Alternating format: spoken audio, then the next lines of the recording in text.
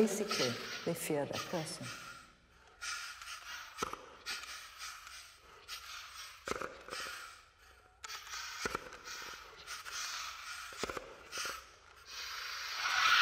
As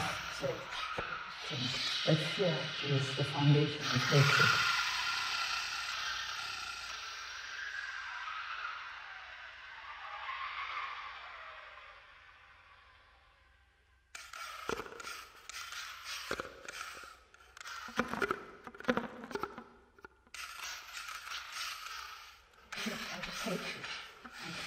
A bad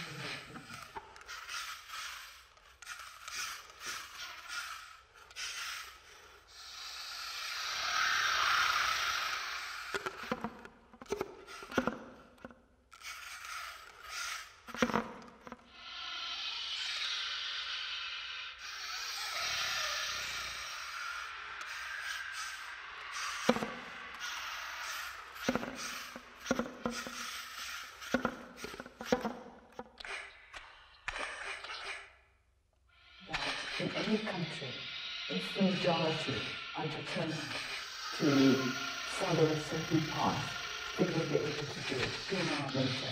Of course, it was not a fear, if you've lived under dictatorship for many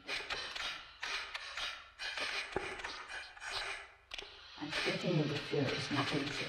But once they manage the first step, then I think the matter can go on. This was one of the things we had to try to teach the members of our party that they must ask questions. They must not take everything for granted and they must not obey somebody who is in authority simply because he or she is an authority.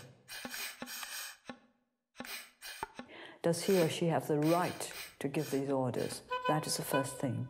And then are these orders correct? Are they justified?